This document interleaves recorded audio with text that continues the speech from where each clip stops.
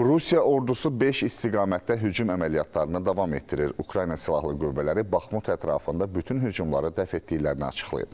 Döyüşlər fonunda Ukrayna taxılını dünya bazarına çıxaran sazişin aqibəti də aktual olaraq qalır. Польщі безпеці будь-де. Ukrayna prezidenti Vladimir Zelenski növbəti video müraciətində müddəti iyulun 17-sində bitəcək taxıl sazişinin uzadılmasının vacibliyindən danışıb.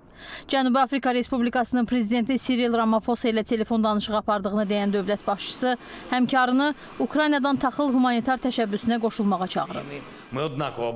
Biz hər ikimiz Qara Dəniz taxıl təşəbbüsünün davam etdirilməsinin vacib olduğu qənaətindəyik. Dünyanın heç bir yerində ərzaq təhlükəsizliyinə təhdidlərin olmaması çox vacibdir və Rusiya aydın şəkildə dərk etməlidir ki, xüsusilə Afrikanın kritik regionlarında aclıq təhlükəsini artıran istənilən şəxs ayrılıqda kimisə deyil, bütün dünyanı azlıqla qorxudur.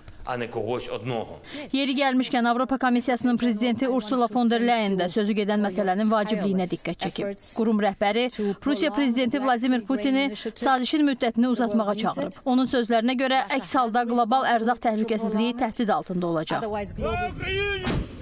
Döyüşlərə gəlincə Rusiya ordusu 5 istiqamətdə Kupiansk, Liman, Baxmut, Avziyevka və Mariinkada hücum əməliyyatlarını davam etdirir. Ukrayna Silahlı Qüvvələri Baş Qərargahının yaydığı məlumata görə bu istiqamətlərdə 30-a yaxın döyüş qeydə alınıb. Baxmut ətrafında bütün hücumlar dəf edilir. Limanda ondan çox, Baxmutda isə 15 yaşayış məntəqəsi artilleriya atəşinə məruz qalıb. Да.